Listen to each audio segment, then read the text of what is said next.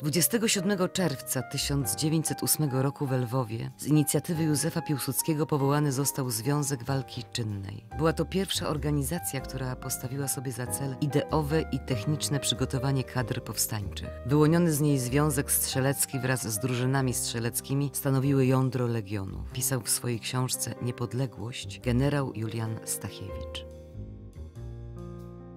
W 1914 roku napięta sytuacja polityczna w Europie w każdej chwili groziła wybuchem konfliktu na niespotykaną dotychczas skalę. Zapalną iskrą okazało się zabójstwo arcyksięcia Ferdynanda, dokonane 28 czerwca w Sarajewie przez serbskiego studenta. Wielka wojna trwała 4 lata. Przyniosła śmierć 10 milionom ludzi, Polsce szansę na niepodległość. Przegrali wszyscy trzej zaborcy.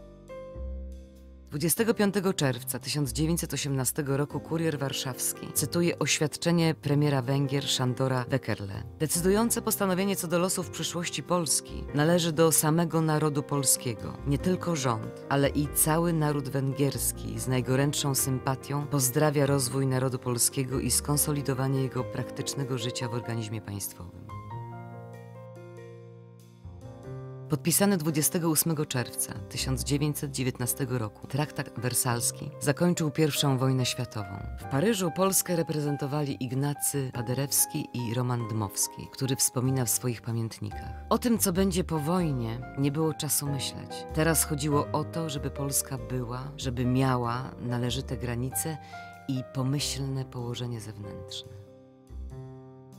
29 czerwca, 77 lat temu, zmarł pianista, kompozytor, działacz społeczny i mąż stanu Ignacy Paderewski. To on przekonał prezydenta Stanów Zjednoczonych do poparcia sprawy polskiej niepodległości. Jego przyjazd do Poznania przyspieszył wybuch powstania wielkopolskiego. Paderewski jako premier i minister spraw zagranicznych podpisał w imieniu Polski traktat wersalski.